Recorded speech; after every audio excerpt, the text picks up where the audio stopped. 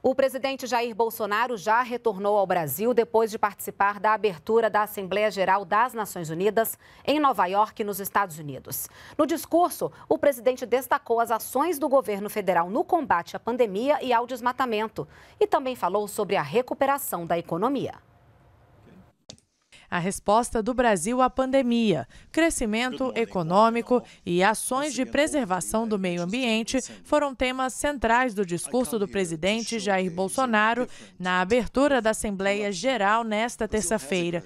Durante pouco mais de 12 minutos, Bolsonaro falou no plenário da sede na ONU em Nova York e destacou o avanço da vacinação no país. O governo federal distribuiu mais de 260 milhões de doses de vacinas e mais de 140 milhões de brasileiros já receberam pelo menos a primeira dose.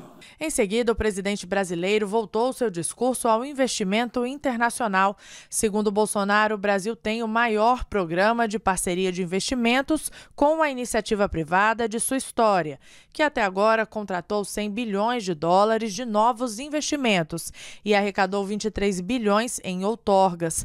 Bolsonaro afirmou que a estimativa para o crescimento da economia brasileira em 2021 é de 5%. Leiloamos para a iniciativa privada, 34 aeroportos e 29 terminais portuários. Nos próximos dias, realizaremos o leilão para implementação da tecnologia 5G no Brasil. Essa é a terceira participação do presidente Jair Bolsonaro no evento anual da ONU. A fala inicial do Brasil cumpre uma tradição de 1947.